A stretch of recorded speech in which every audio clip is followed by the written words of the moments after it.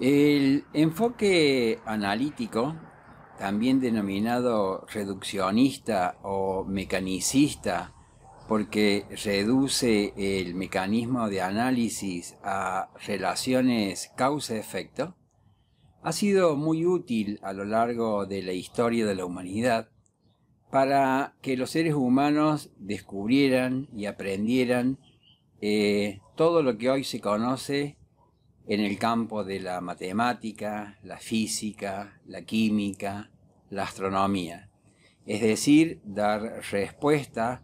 a aquellos hechos o fenómenos que son producidos por una o por muy pocas causas. Eh, otros hechos, fenómenos o procesos son el resultado de un proceso multicausal es decir, una,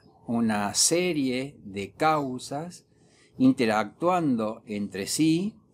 y de esa interacción resulta un hecho o fenómeno que es lo que se observa al ojo humano, por decirlo de alguna forma.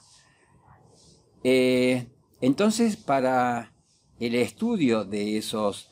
hechos, fenómenos o procesos multicausales, es muy útil eh, la aplicación del enfoque sistémico. Un enfoque, un método de análisis de la realidad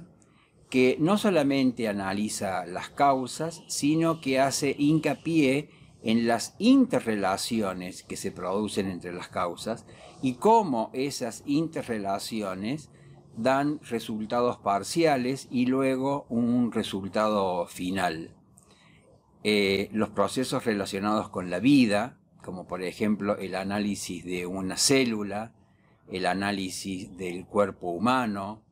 eh, el análisis de la biosfera en su conjunto, son fenómenos hechos y procesos multicausales, eh, cuyo resultado final se debe a la interacción entre las causas y entre las variables que intervienen y por ello para estudiar y analizar este tipo de hechos o fenómenos, el enfoque sistémico es eh, superador del enfoque analítico.